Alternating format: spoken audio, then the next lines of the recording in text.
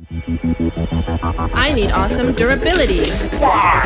Because this could happen. Splash resistant. This could happen. Spill resistant. Even this could happen. Oh yeah,